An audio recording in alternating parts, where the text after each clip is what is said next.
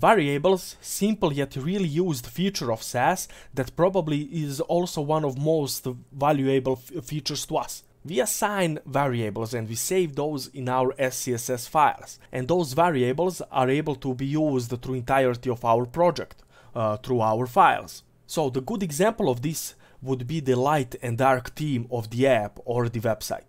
You could create the theme color variable and uh, that color will contain for example the light color like a white color. And that variable will, would be passed to your uh, main color of your website, not the white color, but the variable of the white color. So at some point, if the user wish to change that uh, lighter to a darker theme, uh, your uh, theme color, uh, the theme color variable would change the color itself. And wherever you used that variable, uh, the entirety of your project, the styling of your project will change from a light to a dark as you change the value for that variable. Let me show you this in a clear example. This is also a good example for project management as variables won't be part of our base folder, it will be part of our helpers folder. So here I would create a new folder called helpers and inside of that folder I will create a new file called variables.scss. So to assign the variable itself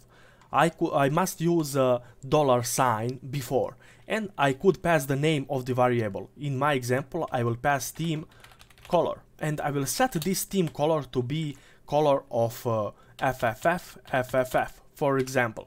So by this, if I save it right now, it won't work kinda. I must, must uh, import my variables uh, file into my style.scss. I will import that above my typography import, as my variables should be kinda uh, imported before as maybe in typography I would use some of my variables. And my SCSS must know that that variable really exists. So that's why we first load the variables then typography. So here I will import uh, uh, from helpers variables file. And now if I save I will uh, successfully uh, compile my SCSS code. So now in my style.scss I could grab my body itself here so body, and here I could put the background color to be equal, and you could see this theme color, uh, which is coming from helpers slash variables file. So I could use the theme color here. I would use it with the dollar sign and the name of the variable, theme color. If I save it right now, everything will be okay. And on my browser itself, I will see the white color as the background. This is not a change as by default the white color is the background of uh, body. So now, instead of uh, changing this color to a black color, I would uh, change the variable value itself. So in variables file, I would instead of FFF pass 000000, which stands for a black color. And if I control S that, it will successfully compile this and now on my browser I could see the background is a black background as I pass the value of this variable to the body itself. So I will move this back to FFF, FFF and by this you can see that uh, you can use one variable to, uh, to manage your multiple elements. So you don't really need to use these uh, variables just for the colors or the theme colors itself. Uh, you could uh, set uh, multiple values Uh, and multiple variables and you could handle that easily with SCSS. For example, uh, most of the teams today have their primary or secondary color. So I could pass here primary color, for example, and set it to be a red color. And also I could create the secondary color variable and set it to be a blue color, like this. So now in my typography SCSS, instead of using this red color here, I could use a primary color variable. And on my browser there won't be a change for that. There will be a still a red color for my h1 tag here. As this text here is kinda smaller text, I could use a secondary color for that. So as I'm still working with my typography, I would work here in typography file, so I would use my P sign and set the color for that to be secondary color. So now on a browser we could see that uh, my paragraph is using that blue color that is coming from my theme variable. And if you wish to change those colors, you don't really need to change the colors on paragraphs as you could change, you could have like hundreds of paragraphs through your website or your app. You would change the color on a main level, on a variable, and that color uh, would be set for all the paragraphs, for example, uh, through your code. So basically wherever you used that variable itself. So for example now, I don't wish that my secondary color is blue color. I wish to set up my secondary color to be a green color, green, like this. And now wherever I had that secondary uh, variable, secondary color, uh, it, my blue color will change to a green, as you could see by the example here. And for now I just showed the colors for you. I could also have a primary font, for example. And I could set that to be just a sans serif, like this. So now I could go to my typography itself and I could change the font family here and set it to be equal to a primary font, for example. But I didn't use it properly, this sans serif. I will need to use it with sans serif, like this. So now you can see the difference between the fonts. You can see that my font is different for the H1 as uh, it is using my primary font for my uh, theme here. And uh, the font for the paragraph looks different as it is not the sans serif font itself.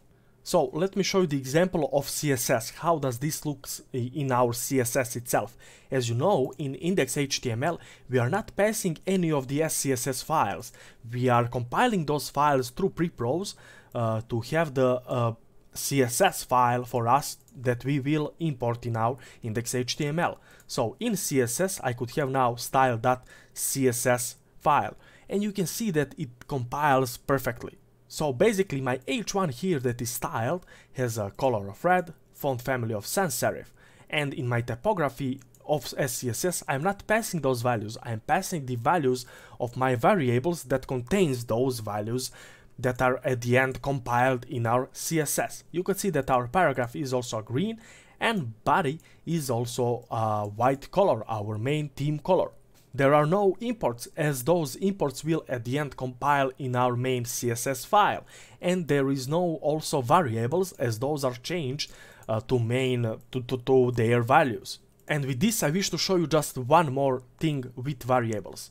So in my typography Instead of using just the primary color, what if I wish to make this primary color a bit lighter or a bit darker? I still wish to use that red color, but I kinda wish to use it a bit darker, for example. There is a lighten and darken method in uh, uh, SCSS, and we could use that with our variables, with our colors mainly. So, instead of passing here primary color, I will cut this out, and here I will use a darken method. And you can see that the darken method uh, must have two values. First value is the color itself. So here I will pass the primary color variable of my variables. And the second value is the amount. This basically goes in percentages. So here I could pass 20 percentages, for example. So I will show you this example here. You can see that there is a red color of my H1. But if I save my file right now with the primary, primary color of red, uh, which is 20 percentages darken, you will see that that red color is not red itself now. It is kinda going to a brown color. And what, for example, if I use lighten here, so lighten, like this, uh, you will see that my color won't be red, it will be a lighter red, right?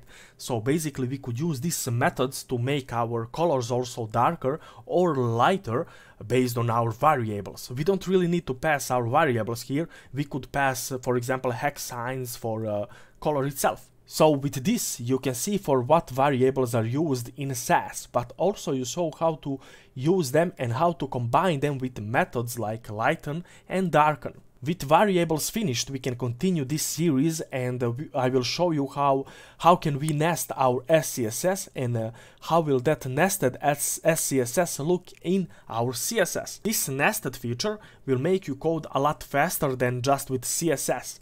Let's learn that now.